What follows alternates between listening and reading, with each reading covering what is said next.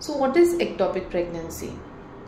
Typically, a fertilized embryo would usually implant in the lining of the uterus, also called as the endometrium, and that is what is called as a intrauterine pregnancy.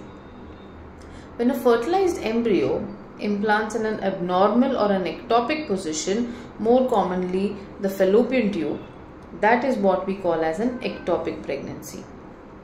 You will get a positive, positive pregnancy test in an ectopic pregnancy as well because of the hormone beta HCG. But along with that, you may experience symptoms like uh, pervaginal spotting or you may have uh, pain in abdomen.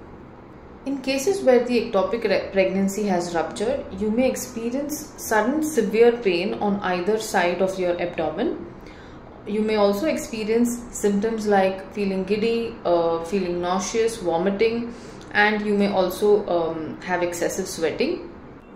The only way to diagnose an ectopic pregnancy is by doing a sonography. Managing an ectopic pregnancy medically is an option. However, you have to uh, fit certain criteria to consider that line of treatment. An, uh, a rupture ectopic usually would always require a surgical intervention